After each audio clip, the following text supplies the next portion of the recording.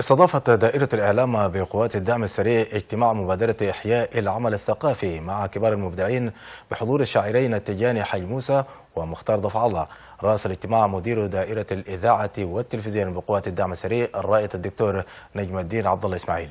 وأكد نجم الدين تبنيه مبادرة إحياء العمل الثقافي وتكريم المبدعين مشيرا إلى أن قوات الدعم السريع تعمل على دعم البرامج المجتمعية والثقافية بالبلاد.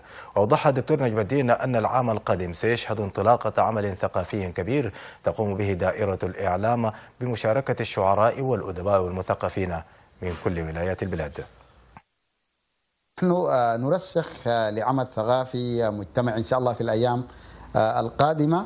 وقوات الدعم السريع يمكن عملها ليست ينحصر على الدور القتالي والحربي والأمني فقط وإنما لديها عدد من الأدوار المجتمعية والثقافية من منطلق مسؤولياتنا تجاه المجتمع. نحن إن شاء الله في القريب العاجل بإذن الله تعالى في المطلع العام 2022 سيشهد عمل ثقافي كبير جدا برعاية قوات الدعم السريع ويمكن مع قادة العمل الثقافي والفكر طالما وجدنا ترحاب بالعمل الثقافي في هذه المؤسسة فنحن شركاء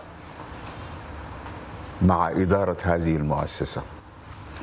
ودائما أنا قاعد أقول القصور في المؤسسات المعنية بالثقافة هو اللي حمسنا إنه نجي إلى هذه المؤسسة والتي قالت لنا بالفم المليان نحن رهن إشارة الثقافة.